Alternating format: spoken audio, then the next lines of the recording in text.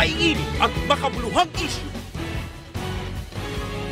Mga pangyayaring pinag-uusapan at reaksyon ng mamamayan. Tatalakayin. Lilinawin. Kasama ang pinagkakatiwalaan ng sambayanan sa larangan ng broadcast, si Eli Saludar. Diskusyon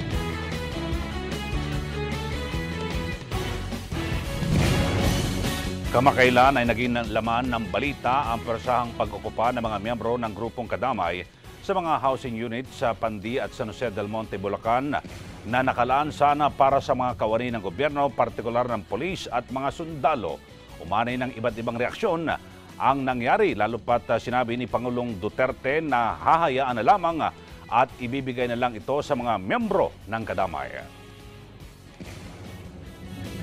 Ngayong gabi, bisita natin ang isang uh, personalidad na nakatutok po sa issue ito at kakamustahin din natin ang sitwasyon ng mga housing projects ng ating pamahalaan. Magandang gabi. Ako po si Eli Saludar. Ito ang diskusyon.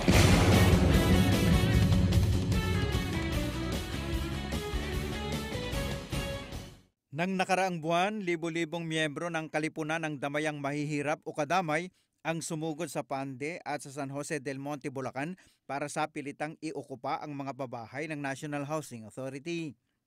Ayon sa Kadamay National Chairperson Gloria Arellano, ito'y bilang protesta sa kabiguan ng administrasyon at ng Housing and Urban Development Coordinating Council o HADC na mabigyan ng maayos at disenteng pabahay ang mga mahihirap.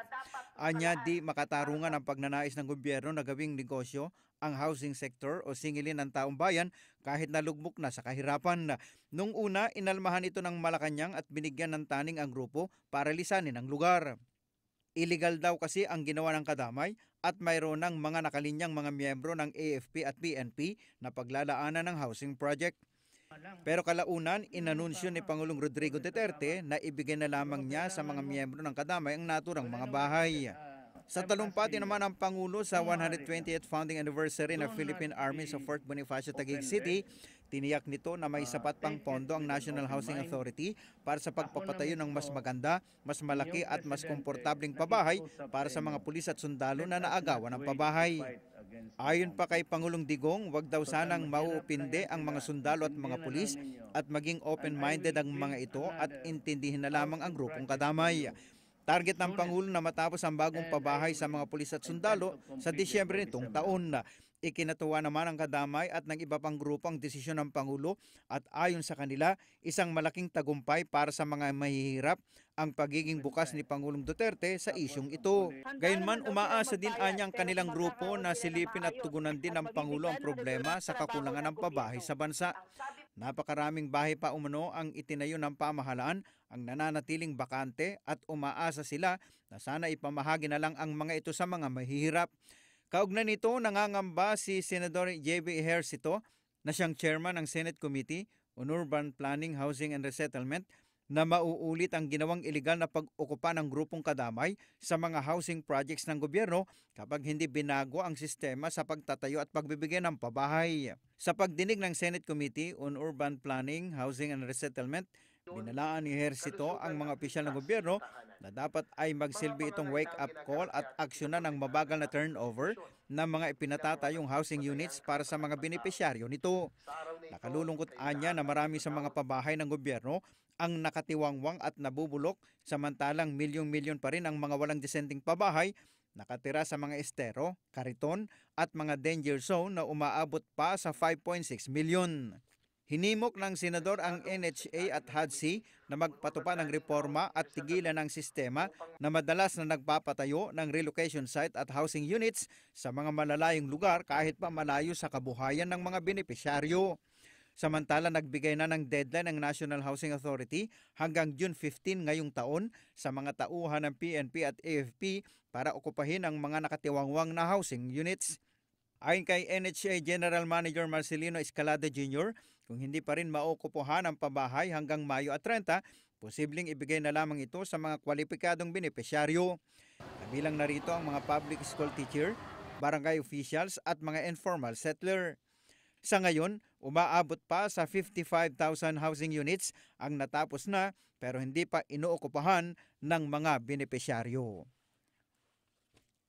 Ngayong gabi mga kasama natin si uh, Congressman Albi Benitez, uh, ang uh, chairman ng House Committee on Housing and Urban Development. At para po sa inyong katanungan o opinion dito po sa diskusyon, maaari po kayo makisali sa amin. I-like po ang aming fan page sa www.facebook.com slash pages slash diskusyon. Twitter at diskusyon. Napakahalaga po na ating pag-uusapan ngayon dahil sa lahat po tayo may pakialam, lalo na po yung ating mga kababayan na wala pa hong sariling bahay. Mari kayo mag-text dito po sa amin 0905-523-0421 at 0939-818-6423. At uh, kasama nga natin si Congressman Albi Benitez. Congressman, magandang gabi po sa inyo. Magandang gabi, Kaeli. At uh, noong nakarang Martes ay nagkaroon po ng uh, hearing sa Senado at uh, kasama rin po ang mababang kapulungan ng Kongreso. Importante po dahil sa yung issue po rito ay ang pamahay. So siguro isang tanong muna at uh, talagang gaano ho ba kalala ang problema ng pabahay? Well, uh, unang-una, no, ginawa naming parang uh, joint hearing na lang ito para Opo. mas mabilis yung mga paghanap natin ng mga solusyon.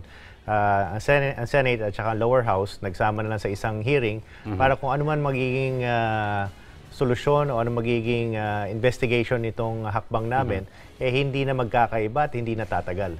So yun pong plano at uh, buti na lang uh, sumang-ayon si Senator JV dito at uh, yun nga na, na, nasimulan na natin no. Ah, ang problema ng ah, pabahay ay talagang long overdue na ito na pag-usapan. Ang backlog ng ah, ng housing ay lumalaki yan kada taon. Apo. So kung hindi tayo kikilos at hindi tayo maghahanap ng ah, isang solusyon sa problema na to, eh talagang lalala na lalala Ayan, na to. apo. Okay, samantala at ah, yung issue po rito, sabihin natin nagbukas po sa kaisipan ng lahat ah, ay ito pong ginawang paglusob ng kadamay. Sasagutin po yan ni Congressman sa pagbabalik ng diskusyon.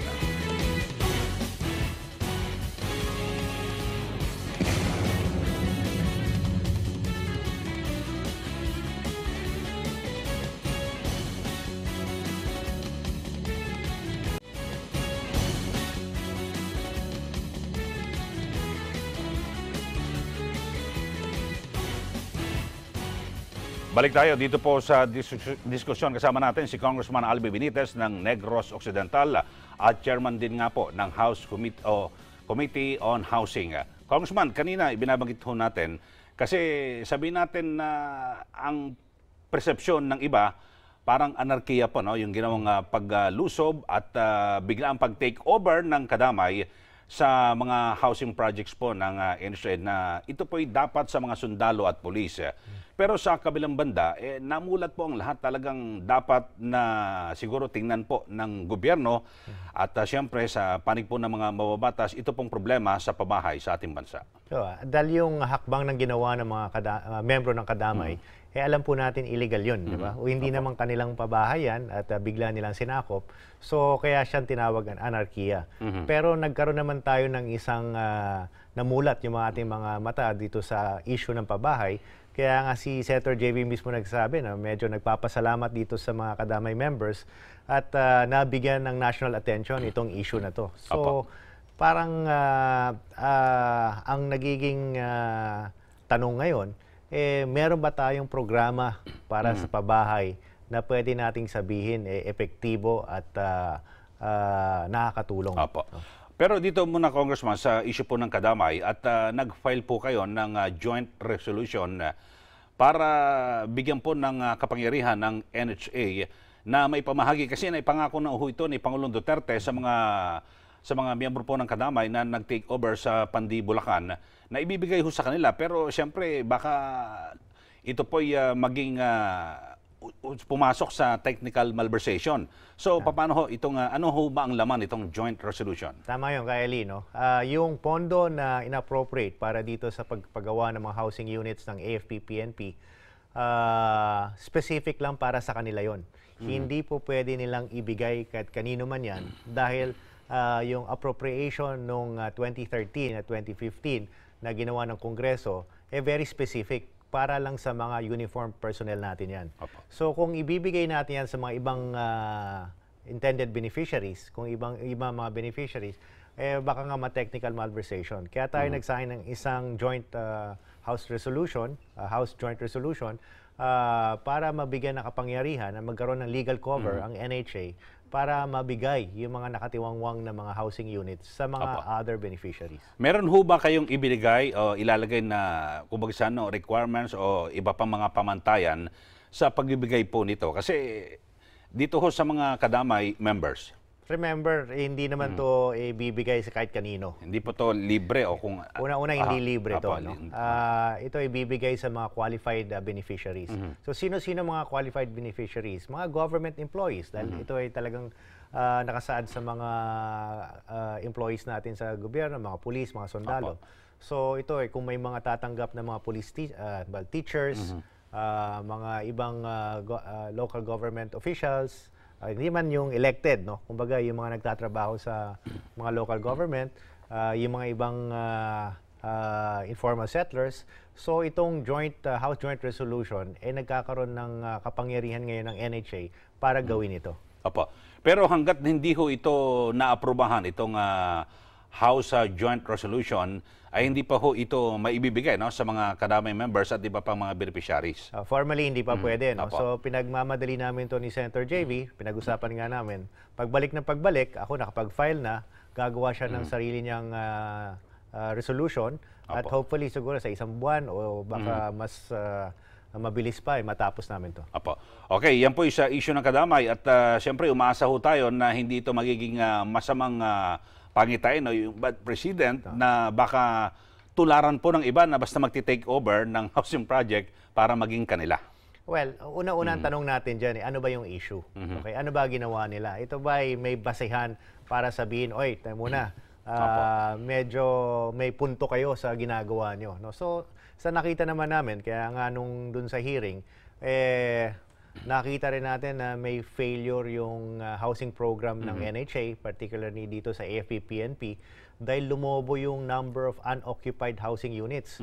No, from ah, ta- ginawang 66,000 housing units, eh 55,000, 83% ang ah, walang nakatira. Aha. At nakatiwangwang na. Sinasabi nga ni Cabea, yung ah, national chairperson ng ah, Kadamay, eh yung mga insekto na lang nakatira dyan, nakatalahib. Opo. So sabi, kahit na naman sila, siguro naman ah, po pwede na kami na lang ang tumira dyan. Okay, so, base nga po, na, nasubaybayan ko rin po yung hearing sa Senado. Ang, ang sinasabi nga, 66,184 yung naitayong bahay ng NHA. Completed housing units. Opo, 8,240 lang ang nag-okupa.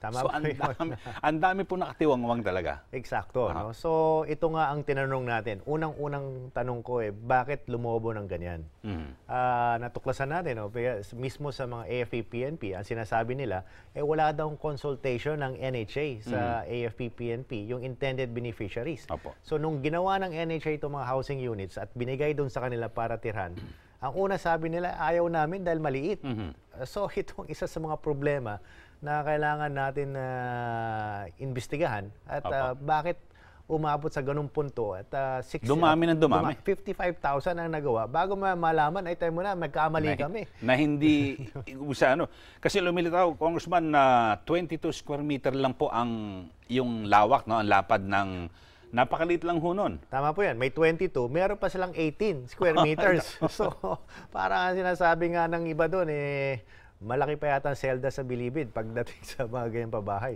Oo nga po. So, ito ang mga isang issue na tatalakayin namin. Hindi namin natapos talaga. Hindi naging nakumpleto sagutin yung mga tanong namin nung last hearing. So, sabi namin ni Senator JB, eh, magkakaroon pa ng isa.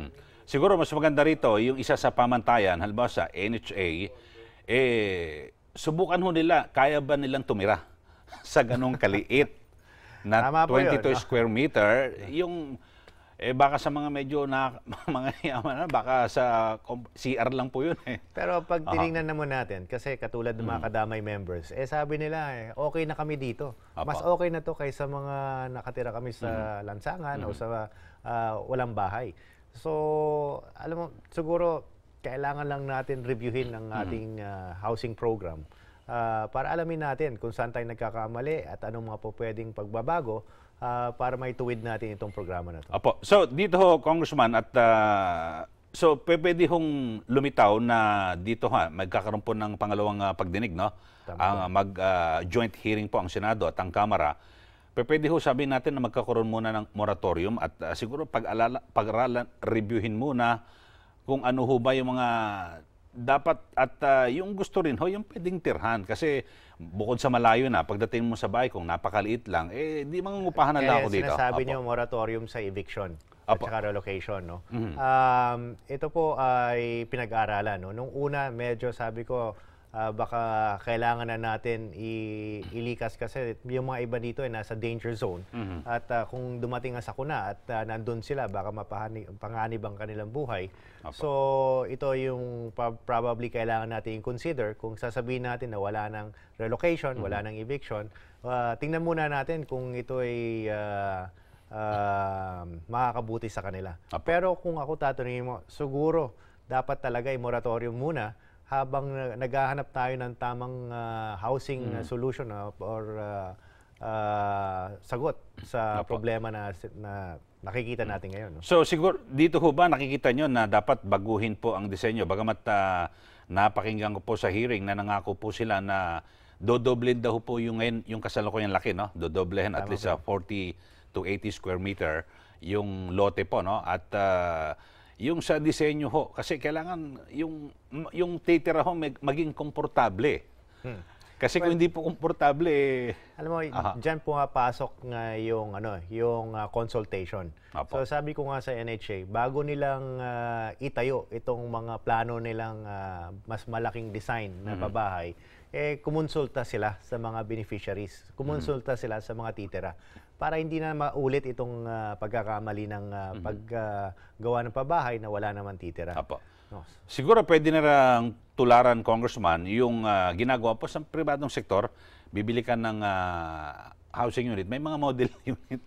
Di ba? Papakita na muna. Papakita. O, pwede Ito, nga yun, pwede- di ba? Pwede Para- siguro. Siguro nga kasi alam mo hindi naman pantay-pantay ang tao eh. Apo. May mga iba eh gusto nila maliit lang yung Apo. kanilang ah, kwarto. Mm. May mga iba gusto nila malaki. Mm. No, so siguro dapat ah, magkaroon nga ng parang isang preview muna, may model unit muna. Apo. Mm. Tapos alamin kung ilan talaga ang may gusto na yun, ang gusto ng ganun na modelo, ganun na design Apo. at yun Ah. ang itayo, no? Mm. Tsaka siguro, may pagpipilian, tatlo, yung isa, yung napakalaking pamilya, ito, ito, pwede sa'yo. Yung hindi gaano kalaking pamilya at ah, yung bago pa lang na mag-asawa, ah, so pwedeng pagpilian Tama siguro. yun. Dapat Apo. magkaroon Mm. ng parang ah, mixed product o mixed use dahil iba-iba ang pangangailangan ng tao eh. So magandang suggestion po yan. Apo. Mm. At, at talagang ah, makakaabot to siguro sa sa NHA bago nila itayo itong mga pabahay. Apo. So dito ho ba masasabi natin ipatitigil hinto muna itong kasalukuyang ah, mga housing project, yung pagtatayo po ng mga pabahay. Kasi ang, ang dami pa ho nakatiwangwang at ah, syempre pera po ng taong bayan dito. Um, Nagdi-depreciate po yan. Oh, Opo. kaya tayo nag-file ng ah, House Joint Resolution no, para mabigyan ng kapangyarihan ng NHA na i-award to sa mga ibang ah, beneficiaries. Ang sabi Opo. naman po nila, eh, ah, maraming mga kadamay, maraming mga qualified ah, beneficiaries na gustong ah, i-take up itong mga housing units. So, kailangan lang sila mag- mabigyan ng legal cover para ma-execute na nila to at ma-award nila doon sa mga qualified members. So, pwede nating sabihin kung talagang totoo yun, kung talagang ah, may mga ah, kukuha ng itong mga housing units na intended for AFP, PNP beneficiaries, Apo. eh di at least hindi naman nasayang. Pero mga ilan ho siguro dito sa 66,000, eh ilan po mga pwede ibigay? Ang may binabanggit po si Senator JB parang at least 5,000 muna. Well, ang sa uh, kanila. inokupahan ng ah, kadamay members is 5,200. So, yun lang muna diba? ang so, ibibigay. At least yun, yun ang ah, sigurado na may mga intended beneficiaries. Pero kailangan lang natin alamin kung talaga mga qualified members yun. So, may Yun, opo. profiling pa na kailangan gawin. Yung 50,000 na mga na units na nagawa na, ah, kailangan namin tingnan. No? Kasi baka naman walang tubig, walang kuryente. Yeah, eh, pag ginalok mo yan sa mga intended beneficiaries, baka hindi rin nila kunin. Ah, apo. So ito yung mga kailangan natin i-investigahan ng mabuti. Kasi marami hong mga problema tulad po sa bandang Montalban, Rodriguez Rizal. Meron po dyan no, para sa mga PNP at uh, AFP personnel. Ang problema ho nila tubig at uh, 'di ba yung ano yung Bomba. yung ah, yung di bomba po na ano hindi po natupad eh na yung mga pangako ho ng mga developer. Ah, meron nga nagsasabi sa akin ng ganyan, kaya mag, magkakaroon kami ng ocular inspection dyan at ah, titingnan namin mismo kung talagang totoo itong mga reports na to. Apo. Siguro maganda rin po rito, Congressman, at ah, alam naman natin, marami pong ah, mga kababayan natin, lalo na po, eh, siguro yung mga pangkaraniwang empleyado sa gobyerno, na may sapato, kaya hong magbayad, no? Kasi pwede hong salary deduction po ito eh. Siguro pwedeng sa kanila i-alok kung ayaw po ng mga, mga pulis at sundalo. Tama po yun. Ah, nandun sa plano ng NHA yun. At sabi nga nila, baka mga public school teachers ah, po pwedeng ah, mag-avail ng mga housing units na to. Apo. Okay, may mga text po tayo at mula kay 9927, dapat hindi binigay sa mga kadamay members kung ah, yung mga housing, baka kasi ganun na din ang gawin ng iba. So, yun nga po ang binabanggit. Sana wag hong ah, mag- pamarisan ho. At ah, good evening diskusyon, kawawa naman yung mga sundalo para talaga sa kanila yun mga bahay. Pero hindi dapat nangyari yung ganon. Tapos ngayon gusto nila pati kuryente at tubig libre lumalaki ang ulo. So, kanya-kanya po itong mga reaction no, dito po sa ating mga kababayan na yung iba eh talagang medyo naiinis po no sa grupong ah, kadamay dahil sa bigla silang nag-take over tapos eh ang masakla po rito yung iba nagtatampo ho ah. Natural, kasi kumbaga parang nag-shortcut to eh. Kumbaga nakapila ka, bigla kang pupunta sa harap, marami talaga magagalit. No? So parang ganun ang ginawa ng ah, mga kadamay members. Kaya sabi naman namin, eh, um, katulad ng sabi ng Presidente Duterte, na bibigyan na lang ng mas magandang pabahay ang mga AP, PNP ah, personnel. Ah, so para magtugma naman yung mga gusto nila sa mga bahay na ibibigay. Apo. So, ito po ang ano, ito po ang ah, kailangan natin talagang balansehin, no? Ah, at ah, malinaw naman sinabi namin doon kay uh, Cabea, ang National ah, Chairperson ng Kadamay, na dapat itigil na muna to. Hanggang dyan na lang at wag na maghakbang at magtangka gumawa ng mga ganitong bagay ulit. Apo. Pero kung lalakihan po ito hong ah, yung mga pabahay sa na pangako po ni Pangulong Duterte, siyempre magdodoble rin po ang presyo nito kasi alam naman natin na hindi ganoon po kalaki ang sweldo ng mga pulis at sundalo. So, paano ho ba ito? Magkakaroon po ho ba ng subsidy o paano? ho? Well, ah, definitely ma- magiging mas ah, mahal yung mga housing units. Pero kung titingnan naman natin, yung original na 18 or 22 square meters na pabahay, 200 pesos a month lang ang monthly amortization nun. So kahit doblehin natin ng 400, sa tingin ko kayang-kaya pa rin ang ating mga sundalo. Ayun, apo. Kung sa bagay, kaya iiba ho, napapansin eh, yung katulad doon sa mga grupong kadamay, mawalang galang na po sa kanila, sinasabing hindi nila kayang magbayad na ni isang kusing, eh iba ang dami na, ninigarilyo roon. Umiinom, Iba- yun na nga. Yun ang sinabi ni ah, Congressman Apple. No? Ah, yung iba Pancho. naka, naka ano pa yung mga babae, naka manicure pa. ho. Ibig sabihin eh, may panggasto sa iba.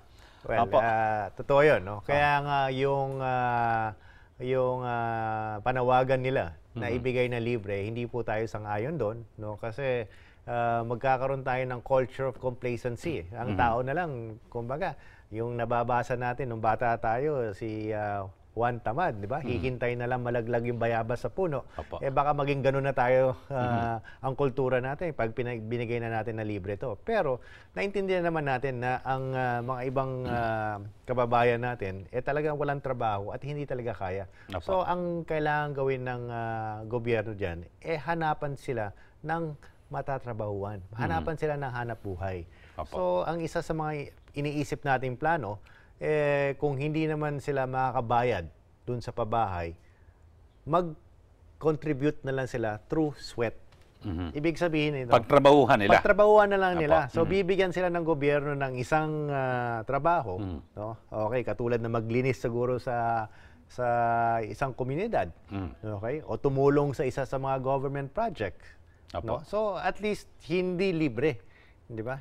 At saka mas maganda ho, at least pinagpagura nila, hindi binigay sa akin yan. Tama Pinag- po 'yon at Aha. hindi as dole out ang Yes, ah, opo. programa. Mhm. So ang ah, pinag-iisipan ngayon gumawa ng isang ah, ah, programa ah, ang either ang DSWD Mhm. or ah, mga ahensya ng gobyerno where tatanggap sila ng mga ito mga informal settlers o itong mga bene- intended beneficiaries so para. Opo. pwede na pagtrabahuan yan Mhm. di ba Pero dito, Congressman, halimbawa, kung, kung labas po ng Metro Manila, kasi ang binabanggit to, bukod sa liit po no, ng sukat ng pabahay, eh, kulang ho yung mga pasilidad at sabi natin tubig, kuryente. At bukod ho dyan, sana dapat magkaroon po ng at least may eskwelahan puron, may palengke at uh, yung binabagit nyo kung pwede lang pagpawisan at uh, pagtrabahuhan. Siguro magkaroon po ng proyekto doon ang uh, gobyerno para yung mga livelihood program hindi na po sila lalabas ng Metro Manila at doon na ho sila mismo. Well, ang ah, ang approach kasi dapat hindi lang pabahay. Mm. Ang approach diyan eh talagang parang ah, community, Yes, 'di ba? So, hindi lang gagawa ng ah,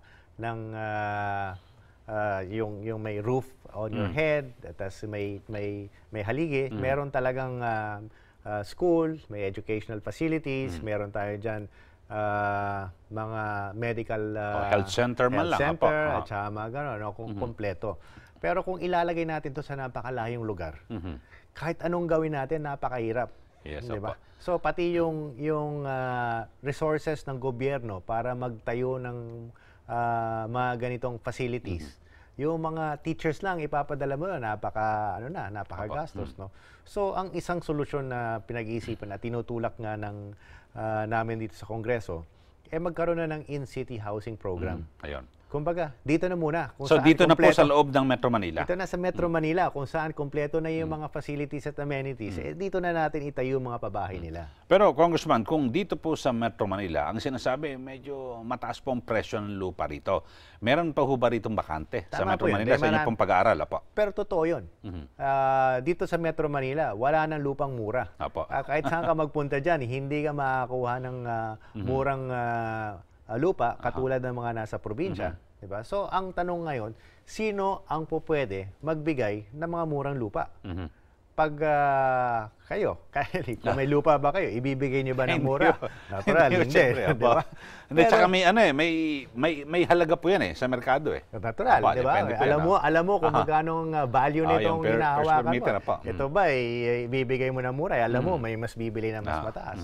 Mm. Pero, pag ang government ang pag-aari, ang may-ari ng lupa, Mm. sila ba kailangan kumita na malaki or ipamigay na lang ito sa Mm. mga nangangailangan? Apo. Sa inyo bang inventaryo at ah, pag, ah, pagsasaliksik ka, Congressman, marami pa ho ba rito na sa Metro Manila na pag-aari ng gobyerno Yeah. na pwede hong sinasabi nyo na ganun Kaya, project? kaya Eli, di ba, ba- bago, Apo. bago natin na talakayin yan, eh, ang tanong muna, ang gobyerno may lupa. Mhm. Pipilitin ba niya na ibenta na mas mahal, mas malaking halaga para kumita siya? O wag na lang ako kikita, ibibigay ko na lang to sa mga nangangailangan. So Ayun. ano ang ah, magiging ah, mandato, ano ang responsibilidad ng gobyerno pagdating sa bagay na ganun? Ayun, okay.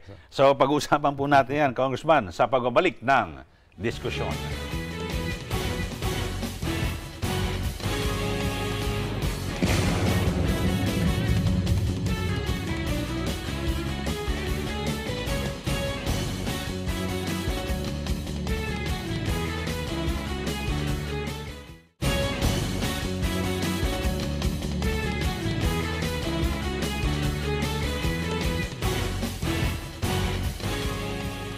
Balik po tayo dito sa diskusyon kasama natin sa ating studio si Negros Occidental Congressman Albe Benitez at ang chairman po ng ah, House Committee on Housing and Urban Development. Congressman, yung binabanggit nyo na pwedeng dito na lang ho sa Metro Manila at ah, meron naman hong sabi natin mga pag-aari ng gobyerno na lupain na kung pwede ho kasi ang gobyerno hindi na kailangang pagtubuan ang kung Tama. talagang kung gusto pong maresolba ito pong problema sa pabahay. Ang, ang gobyerno, wala naman sa negosyo yan, Yes, di ba? apo. Hindi naman kailangan kumita. Kung baga ang taong bayan titingnan, oy, ang dami mong kinita, palakpakan kita.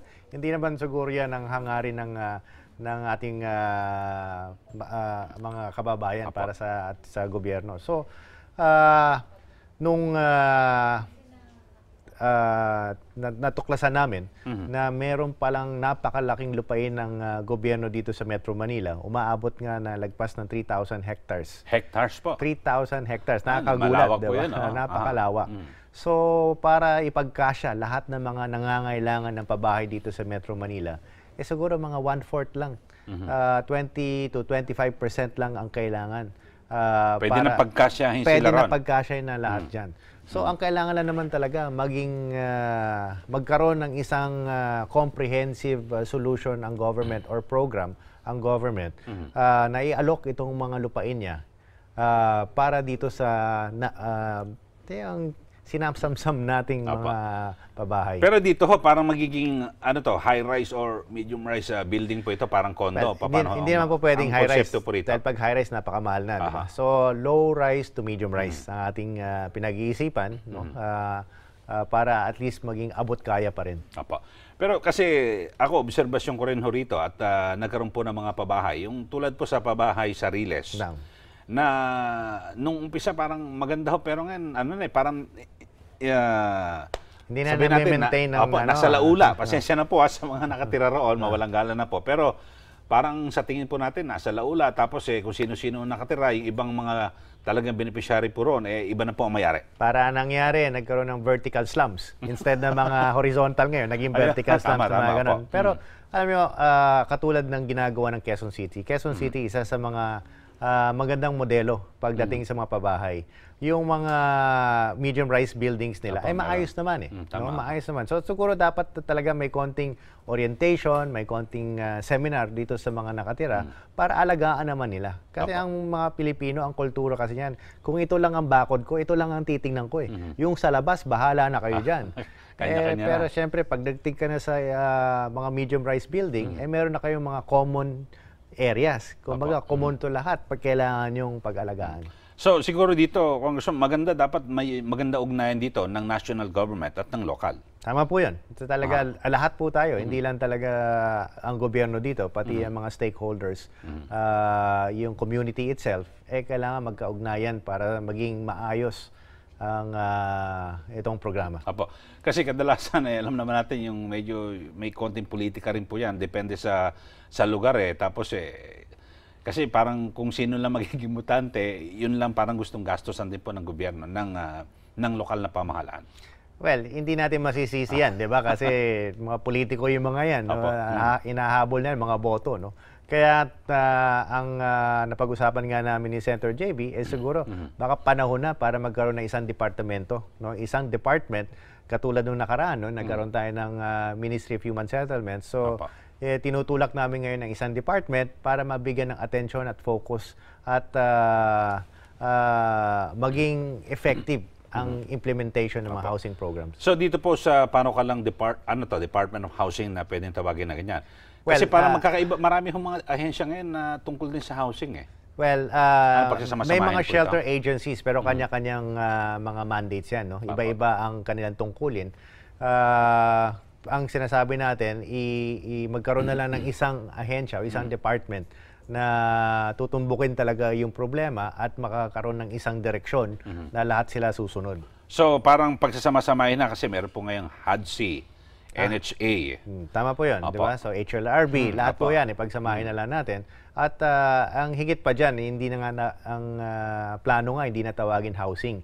Kasi housing parang pabahay lang eh. Hmm. Apo. Alam naman natin na kung pabahay lang, eh kulang. Hmm. Dapat kompleto yan sa mga basic services. So pwedeng Department of Housing and Urban Development. Parang sa inyong komite. well, ang, ang tinatawag nila ngayon is ah, Department of Human Settlements. Ayun, ay parang dati po sa, sa inyong Bumabalik. Pero hindi ako na gano'n yan. Ha? Baka sabihin nyo, eh, meron tayong vested interest dyan. Hindi pa. Ah, pero ito ay ah, naging ah, ah, parang lumabas na lang yan sa Senado at ah, Hmm. Apo. Hmm. parang na-pick up na rin ng House. Wala pong issue politika ron. no? At ah, kung, sabaga, kung titingnan po natin ang kasaysayan, yung mga bliss na lang po, wala pong, ano, wala pong politika ito. Pero bigyan lang natin ng ehemplo.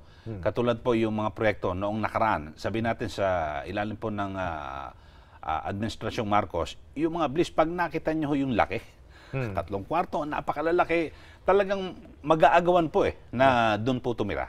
Tama po yun. At Tapos nakik- dito pa sa loob ng Metro Manila. Nakikita na, ilang taon na nagdaan, Aha. eh, Ah, nandiyan pa siya, at Aha. Mm-hmm. saka yan pang pinag-uusapan. So, ito yung mga ehemplo ng mga magagandang programa Mm-hmm. na siguro dapat itong ah, mga ang gobyerno ngayon at sa mga susunod, eh, pag-isipan na sundin. Apo, okay. Okay, text tayo at uh, good evening diskusyon. May pag-asa pa kayang bawiin ni Pangulong Digong yung desisyon niya at paalisin na lang yung mga kadamay. So mukhang Ah, tingin ko, hindi na siguro babawiin niya ng Pangulo. Well, ah, unang-una, ano eh, ah, tingnan muna natin kung ito ay mga qualified. Mm. Di ba? Kasi ang housing program naman ay para sa mga tao nangangailangan. Apo. So kung ah, matutuklasan natin, na makikita naman natin na talagang mga qualified ah, beneficiaries po yan, Opo. eh wala man ako nakikitang masama na ibigay na lang sa Ay, kanila. talagang kung tunay na mahirap at ah, hindi pa ho nakatanggap. Kasi Tama may, ba yun? no? may, mga May iba mga po. qualifications yun, di Apo. ba? Kasi baka naman, eh, kumukuha yan, sampu-sampu. Tapos, eh, Bebenta, paparenta. paparenta. paparentahan na lang niya. Eh, di ginawa negosyo yun. So, Ayun. kailangan maging diligent din ng NHA dyan. Pero, ang punto po dito, may 55,000 na housing units na hindi ginagamit eh. Mhm. So, ano po gagawin natin dyan? Ala naman iwan natin na katiwangwang. Sabi po, nagdi-depreciate yan. At, ah, di ba, pag, yung ano wear and tear, eh, talagang mabilis masisira yan. pag hindi nga po tinitirhan, talaga madali, mga dalas, madali po masira. Tama po yun. So ngayon, ano po gagawin natin dito? Eh maghahanap tayo ng qualified beneficiaries. Eh kung sila mismo nga nandun, eh talagang qualified para sa kanila talaga, eh siguro wala akong nakikita dun sa pagbigay sa kanila. Apo. Okay, ito pa rin ho tanong na sana na monitor din po yung mga iba pang relocation area kasi iba wala namang tubig at walang kuryente, kawawa doon yung mga inilipat doon. So, Tama po yun. No? Kaya nga magkakaroon kami ng ocular inspection. Alamin namin talaga kung ah, ilan talaga ang mga ah, pabahay, walang kuryente, walang tubig. You know? Ah, at ah, sisitahin natin yung mga developers niyan, yung mga contractors niyan, at bakit hindi nila tinatapos. Apo. So, sa inyong pong komite sa Kamara at ah, maging sa Senado, so kinakailangan may ugnayan din po sa sa sangay po ng ehekutibo, no? At ah, sino ba si Cabinet Secretary Junior Basco po, no? Tama po. Mhm. So, paano ho ang ugnayan dito? Kasi merong ah, meron pong ah, si- sinasabi ang Pangulo na polisiya na walang demolisyon kung walang relokasyon. Uh, standard na po yun, Apo. di ba? So pero ang uh, sinasabi naman ng iba, nagbibigay nga ng uh, relocation site, eh napakalayo at hindi tanggap nila. Apo. So ano magiging solusyon natin pagdating sa puntong ganun? so ito nga, kaya nga sinasabi natin, eh siguro dapat baguhin natin ang programa ng gobyerno. Ah, itulak na natin ang in-city housing program ah, para hindi na tayo nagkakaroon ng ah, ganitong ah, problema. Apo.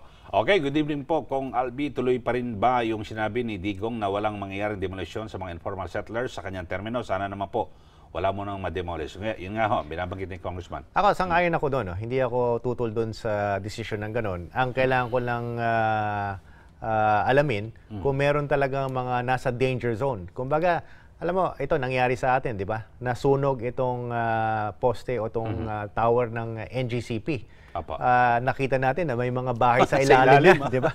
Siguro pag eh, kung ah, magbubulag-bulagan tayo dyan, walang demolition, walang ah, eviction, eh paano yung mga nandyan sa mga danger area? Alam na natin na na nasa panganib sila. Eh di siguro kailangan natin ilikas yung mga yun.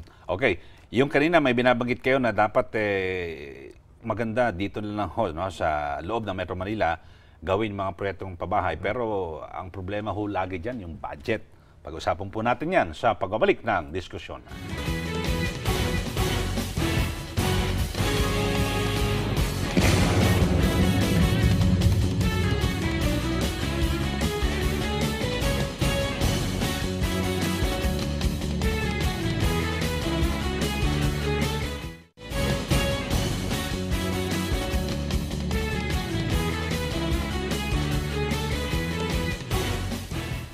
Balik tayo dito po sa diskusyon. Kasama natin si Congressman Albi Benitez ng Negros Occidental, at Chairman ng House Committee on Housing and Urban Development. Congressman, kanina pinag-usapan natin, napakaganda ho na dito po talaga sa loob ng Metro Manila gawin yung mga proyektong pabahay. Pero laging ang problema po, nakabuntot ho dyan budget po at sino ho ang gagastos? Totoo yan, no? Um, pa- parati na lang ah, pag nagkakaroon tayo ng magandang programa, ang unang tanong, eh, saan magagaling ang Yun, pondo nito? opo. no? Um, pinag-isipan na rin namin yan. Ah, katulad ng sinabi ko kanina, meron tayong ditong libo-libong ektarya ng ah, lupain ng gobyerno. Kung ang government ah, administrative office, yung mga gusali nila, yung, gob- yung mga opisina nila, pag nilipat natin yan sa ibang lugar, magiging bakante to. Mm. 'Di ba? So sobra-sobra ngayon itong lupa na to sa mga ah, pangangailangan natin sa pabahay. So ang isang proposal, eh pwede tayo magkaroon ng isang PPP or magkaroon tayo ng isang public ah, ah, private Private, partnership. apo. Pero yung mga yung ibang lupain, okay, pwede natin i-joint venture yan o pwede natin gawin ng isang programa na ang kabayaran niyan ay gagawa sila ng ah, mga pabahay. Mhm. So, ito ang isang pinag-iisipan that we can tap yung mga resources ng private sector Apo. para mapatayo natin itong plano natin. So, yung maganda ho ito, hindi na magpapaluwal ng malaking budget ang gobyerno. Wala na. Gagamitin na lang. Leverage na lang nila yung asset nila. Di ba? Ang government, itong lupa, asset yan eh. Mhm, tama. Kung titingnan po natin, eh, kung ah, ilalagay na lang natin sa 50,000 average ang, ah, ang presyo ng lupa dito per square meter, eh meron yan 3,000 hectares. Hectares. Ang. No? Sabihin na natin, mga 2,000 hectares na lang ang ano, ang ah, ang ah, magagamit natin diyan. At 50,000, 1 trillion po 'yun. Ang laki, At kaya-kaya. 1 trillion pesos eh, Kayang-kaya ng pondohan. Kaya-kaya na natin pondohan ng pangangailangan ng pabahay. Okay, so maganda ho yan. At ah, kasi talagang ang dami ho, ang laki ho ng problema dito. Kasi marami po, no? Katulad ka namin, nakausap tayo rito na nangungupahan 5,000, no? Isang buwan. ah, Doon na nakakalungkot, di ba, Kylie? Ah, kung hindi papasok ang gobyerno, ano ang mangyayari sa atin dito? Habang buhay na lang tayo nangungupahan. Wala na tayong ah, pagkakataon na magkaroon ng isang bahay na tatawagin nating atin. Apo. Di ba? So, so it is important, very critical. Ito nga ang kailangan kong, ito nga parati kong sinasabi, na kung ang gobyerno hindi kikilos, eh habang buhay na lang tayo mangungupahan, habang buhay tayo nananaginip sa isang bahay na hindi Apo. natin, hindi tayo magigising. Kasi alam naman natin, lahat po ng mga bawat Pilipino, yan po ang pangarap eh, na magkaroon po ng sariling bahay. Kasi alam ho, na, lalo na ho yung mga nangungupahan sa atin, yung pagkabayad nyo ngayon katapusan eh, kinabukasan may utang na kagad kayo eh. Kasi tumatakbo na ulit yung renta eh. Tama yun. At Aha. saka yun, sayang na yun eh. Mhm. Di ba? Kung itong ah, pinangbabayad nyo ng, ah, ng renta, eh ginagawa nyo na hulog doon sa bahay na yun, hindi ba mas maganda? Yung parang rent to own. O rent to own, di ba? Aha. Pero yung abot kaya. Kasi ang nagiging problema, hindi nila kayang bayaran ang ah, ang pabahay ngayon dahil sobrang mahal. Apo. Kaya napipilitan na lang sila magrenta. Mm. So kaya nga nasa constitution natin na ang government must ah, must undertake continuing housing apo. program at affordable cost. Mhm. So Ayun. nasa ah, responsibilidad ng ah, gobyerno na gawin to. Apo, kasi kung sa pribadong sektor talagang yung requirements po napakarami at uh, bagamat uh, may mga project din no, na parang pinupondohan ng pag-ibig fund. Tsaka, Pero mataas pa rin ho, Oh, at hindi lang 'yun. Hindi mangyayari na na magbibigay sila ng isang ah, ah, proyekto na palugi sila. Mhm. 'Di ba? Katulad ng ano, ito, yung lupain ng gobyerno.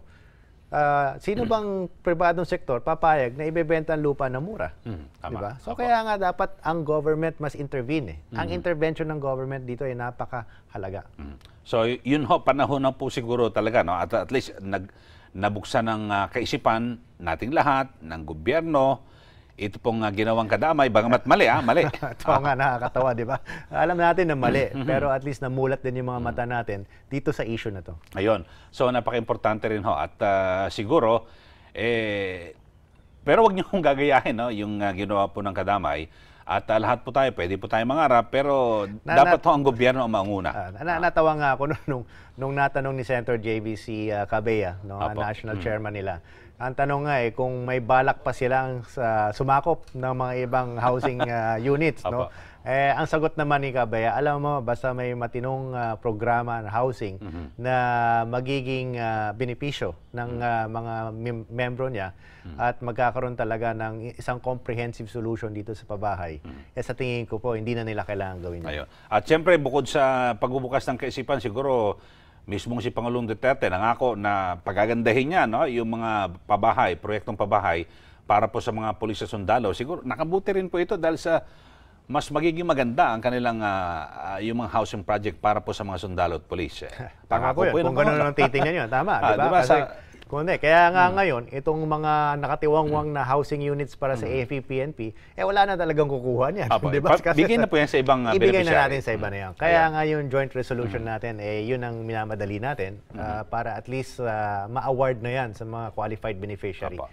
Okay, so ke- sa pagbabalik po muli ng sesyon, maaprubahan na yan. At ah, ano pa ho ba yung mga pwedeng ah, nakapending na paano batas para po sabi natin mapagbuti po yung ah, at maisaayos yung problema po sa pabahay natin? Well, hinahabol nga natin itong Department of Housing, ang tinatawag niyang Sen- Senado ngayon, Department of Human Settlements, Apo. ah, para mabigyan na ng isang ah, ahensya na nakatutok dito sa sa issue ng pabahay. Apo. At titingnan natin sa mga ibang bansa, meron eh.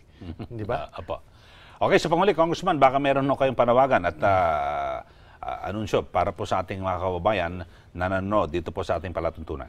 Well, ito po nga, siguro yung ah, matagal nating na pinapangarap na magkaroon ng isang pabahay at hindi natin nakakamkam dahil napaka ah, mahal na po, eh, dapat siguro ah, mag-action na ang gobyerno dito at ito po ang tinututukan ngayon ng Kongreso. Ah, nag-iisip na kami ng mga panukalang batas para maging ah, isang realidad na itong ah, dream natin. Apo. Okay, maraming salamat po kay Negros Occidental Congressman Albi Benitez, ang chairman po ng House Committee on Housing and uh, Urban Development. Lahat po tayo ay nagnanais ng sarili nating bahay. Pero sana naman ay makuha natin ito sa maayos at legal na pamamaraan. Bagamat ganon ang nangyari, ang maganda rito ay tuloy-tuloy naman ang proyektong pabahay ng pamahalaan, di lamang para sa mga public servant gaya ng mga pulis at sundalo at iba pang kawani ng gobyerno, kundi lalo na sa mga mahihirap nating mamamayan na nagsisikap namang makapamuhay ng maayos at marangal. Sana lamang ay mabantayang maigi ang pagpapagawa nito upang makaiwas sa anumang anomalya. Huwag na sanang maulit ang nangyari sa mga nakalipas na administrasyon kung saan ang mga pabahay na ginagawa ay substandard at hindi ligtas tirhan dahil sa posibleng magdulot ng peligro sa mga tatahan dito. Samantala, ang isyu po tungkol sa pabahay ay problemang hindi dapat ipagwalang bahala. Alam naman natin na ang pagkakaroon ng maayos na tirahan ay karapatan ng bawat pamilya at mamayang Pilipino. Muli ako po si Eli Saludar. Ito ang diskusyon.